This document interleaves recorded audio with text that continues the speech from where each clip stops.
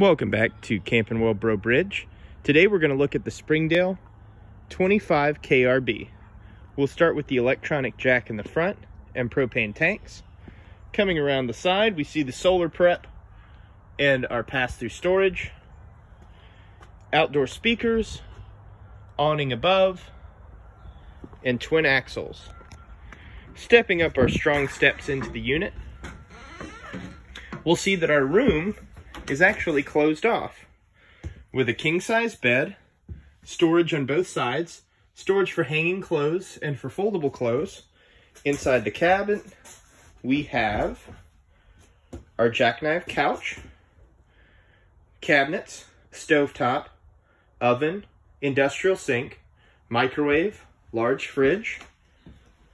And this is the table in the down position. It can be transformed into a bed or pulled up into a dinette with our large window.